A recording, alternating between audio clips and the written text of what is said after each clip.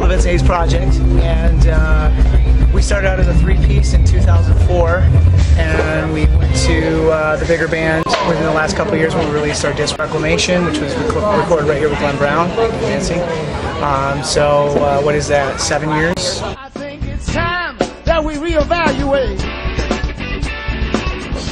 I mean, they have uh, multiple four stages going, so you have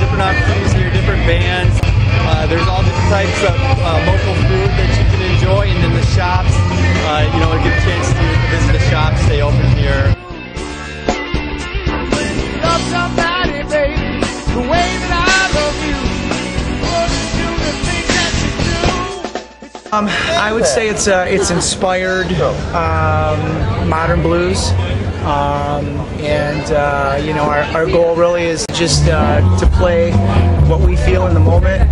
Um, it's, very spontaneous. Um, there's some structure to it. You know, I mean, obviously we have song structure, um, but you know we all kind of give each other room to just breathe and play as we go. So it's very synergistic that way.